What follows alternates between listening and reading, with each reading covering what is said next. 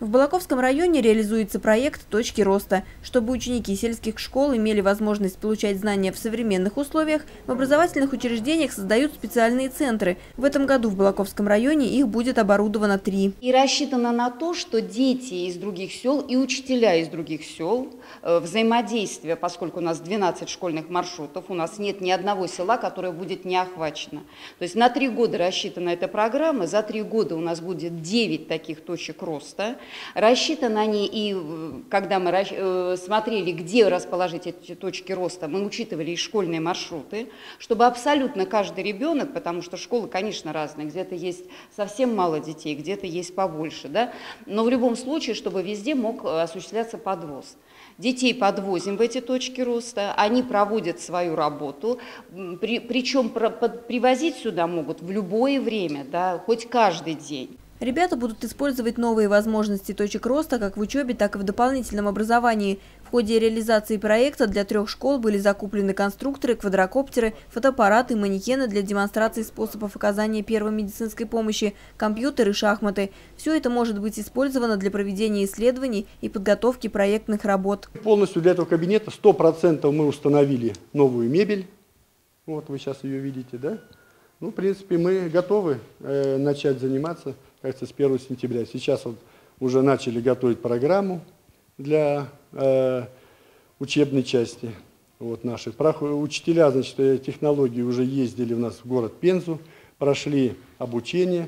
Сейчас, значит, у нее еще обучение будет идти по дистанционно это тоже обязательно входит. Подготовку для работы в точках роста прошли учителя информатики, ОБЖ и технологии. Это три ключевых педагога в каждой школе, участвующие в проекте. Одно из сел, где реализуется проект – Маянга. В школе здесь обучаются более 130 учеников. Некоторые из них приезжают на уроки из Малой Быковки и Еланки. Все они смогут бесплатно получать знания в точках роста. Ну, это, конечно, востребовано. У нас время сейчас такое, которое действительно надо идти в ногу со временем.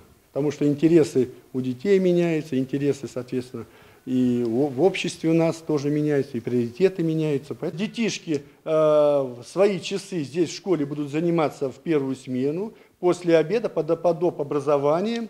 Наш, наши детишки будут 100% охвачены по интересам, по интересам, потому что программы готовятся.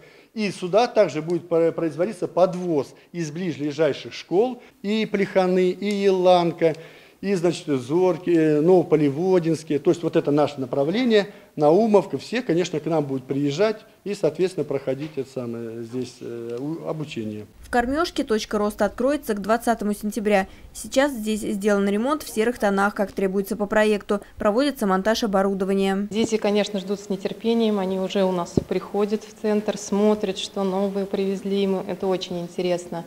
А, начиная с первого класса и у нас по девятый класс все, то есть начальная группа будет отдельная и основная. Мир современный, все-таки мы в этом живем, сами в этом непосредственно всегда участвуем и думаю, что наши молодые педагоги, они справятся, конечно же, и подхватят все это в свои руки. И я думаю, что будет все реализовываться так, как мы запланировали. Конечно, для современного обучения необходим хороший интернет, поэтому в школы провели оптоволоконную сеть. Далее, это уже задача, конечно, нашего будет муниципалитета. Э, если не будет каких-то моментов хватать, то есть проводить какие-то совместные конференции, какие-то совместные мероприятия на, в дистанционном режиме, естественно, что такое оборудование будет докупаться. То есть это будет уже в плановом режиме, когда у нас будут функционировать все точки роста. Мы увидим, как это будет работать и посмотрим, что нам еще необходимо необходимо. Сейчас еще никто, ни педагоги, ни руководство школ толком не понимают, как будут развиваться точки роста и что в итоге из этого получится. Конечно, многое будет зависеть от учителей, смогут ли они увлечь сельских ребят и сориентировать их на получение знаний. Поэтому и были выбраны в качестве наставников молодые педагоги, которые сами готовы учиться и передавать свои навыки ученикам. Идея точек роста хорошая, но как она будет реализована на местах, увидим примерно через год.